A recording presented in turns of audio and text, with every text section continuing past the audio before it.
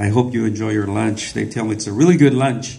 Uh, on behalf of the city of Ceres, uh, we have a proclamation proclaiming March 31st, 2011 as Cesar Chavez Day in the city of Ceres.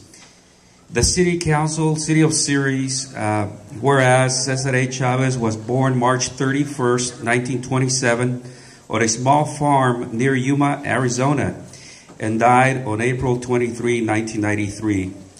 Whereas, as a second generation American, Cesar A. Chavez, at the age of 10, began life as a migrant farm worker when his father lost his farm during the Great Depression.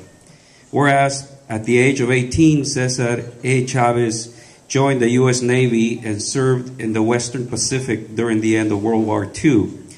Whereas, as early as 1949, Cesar A. Chavez dedicated himself to fight for equality, justice, and dignity for all Americans, especially the often forgotten men, women, and children who toil in agricultural fields.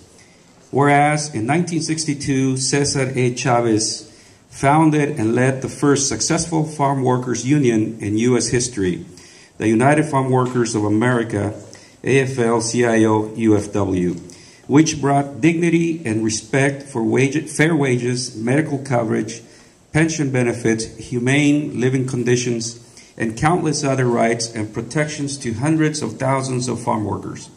Whereas the significance and impact of Cesar A. Chavez's life transcends any one cause or struggle which continues to influence and inspire millions of Americans to seek social justice and civil rights for the poor and disenfranchised in our society.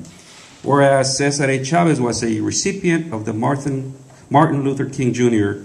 Peace Prize during his lifetime and was awarded posthumously the Presidential Medal of Freedom by President Clinton on August 8, 1994, the highest civilian honor in America. Whereas, since his passing on April 23, 1993, dozens of communities across the nation have renamed and dedicated schools, parks, streets, libraries, other public facilities, awards, and scholarships in his honor and have enacted holidays on his birthday, March 31st.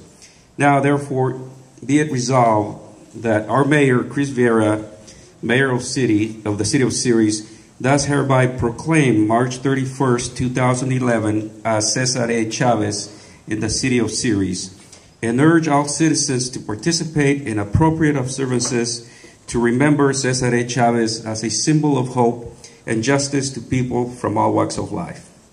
Thank you very much.